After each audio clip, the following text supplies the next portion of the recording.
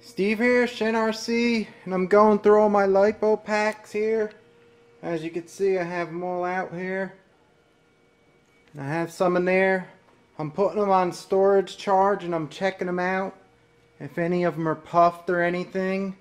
And I found that these uh, Gens Ace packs I have here.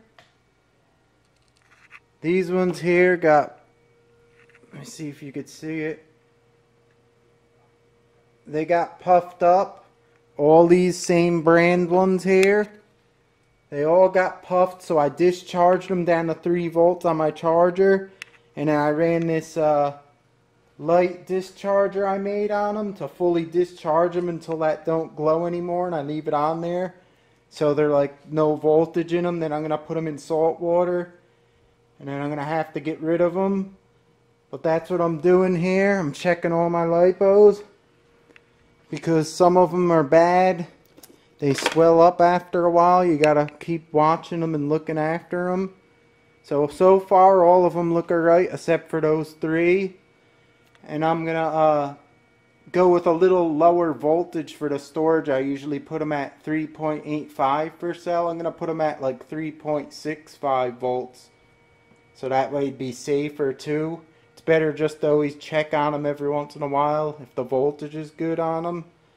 Then uh, leave them in a high voltage state in your storage boxes because they're safer. If anything happens, you'll get not no big fire from them.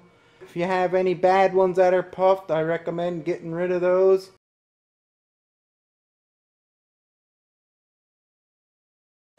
Just want to show you guys what was inside these Gens Ace batteries that got swollen. They come apart.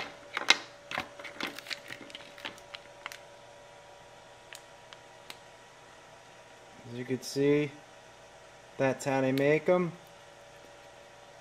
The little board in the front, the connectors. Anyhow, these got swollen, so I discharged them, and they're ready to go in the recycle bin. You don't want to keep these puffed ones. They they could probably still have been used, but better safe than sorry. So discharge them down and recycle them. And that's what I'm doing here. So we'll see you next time. Please give me a thumbs up. And I appreciate the support, guys, as always. Take care. Beauty.